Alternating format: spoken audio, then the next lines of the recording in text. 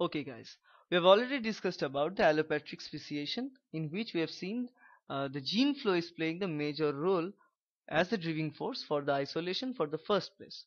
And also we have seen the geographical isolation or the physical isolation. Now let us talk about the parapatric speciation. Then we'll be talking about sympatric later. Now let us talk about the parapatric one. In parapatric speciation, this is more, much more likely the allopatric speciation. So that's why I'm discussing these two side by side to tell you exact difference between them. Now in allopatric, uh, then in parapatric speciation, what we are having, again we are having suppose a land is there. In this land, there are different regions. Now suppose there are certain uh, part, suppose this is the region where uh, few species, species A are there in this field. So lot of species a. So only members of species a is there. So all of them are members of species a successfully reproducing between themselves. Now what will happen if we put a driving force a selection pressure to them what will happen? For example you start adding ddt which is a poison right? When we add ddt in higher amounts it can act as poison for the trees. So when you put ddt onto that it will soon kill most of the members of the species A, most of the members.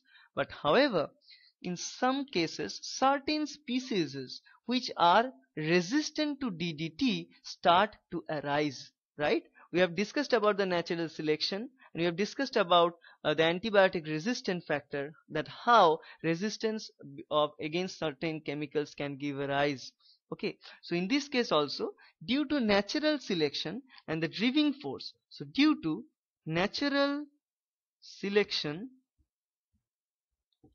as a driving force some of the members of the species A start to thrive and they start achieving some of the important features. They start achieving some of the important features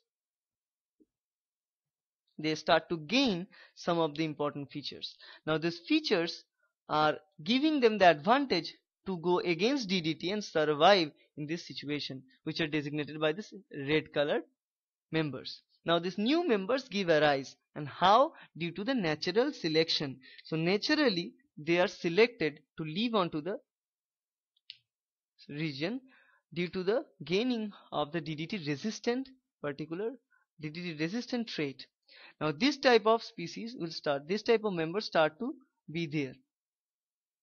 Okay as the time will go on they will start producing new traits right? So they start achieving new traits. So as you can see that's why we're giving them new colors so they start gaining new traits.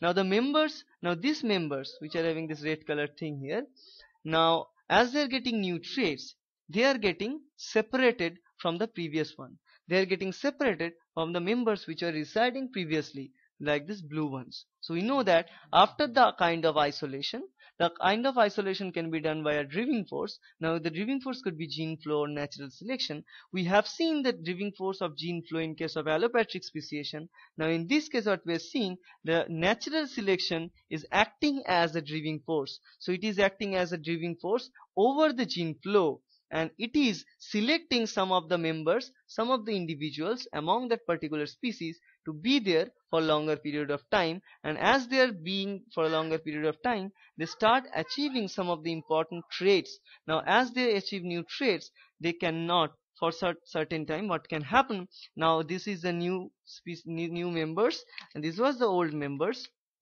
now, due to the achievement of uh, this particular chemical uh, DDT resistant factor, they may no longer able to reproduce between themselves. So what we can tell them that they achieve a reproductive isolation. They achieve a reproductive isolation.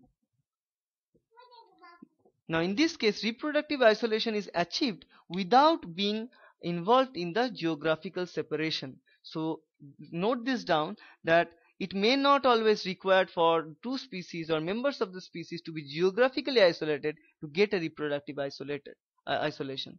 So these species or these members present in the same region but still presenting in the same region it can gain the reproductive isolation by simply due to the driving force of natural selection. Now in this case the natural selection provided by the DDT. Okay, so this is how new species can give rise. Now if these two species as you can see they are reproductively isolated so they are not able to reproduce between themselves then we can tell that this new red colored A is totally different species than the blue colored species. So that's how new species can give rise. Now in this case we call it the parapatric speciation and this parapatric speciations uh, natural selection plays more and more important role than the gene flow. But on the other hand, in case of allopatric speciation, gene flow plays the important role than the natural selection. So that is the difference between the allopatric speciation and parapatric speciation. And also, in case of allopatric speciation, we have seen uh, the speciation at the beginning, it starts with the geographical isolation and physical isolation. On the other hand, in this case, we haven't encountered any geographical isolation, but the species emerges due to the natural selection which is acting as a driving force. Okay, so that is the difference between allopatric and parapatric. So we have seen here the natural selection playing the major role. Okay, so I hope this video will help you to understand what is uh, parapatric speciation.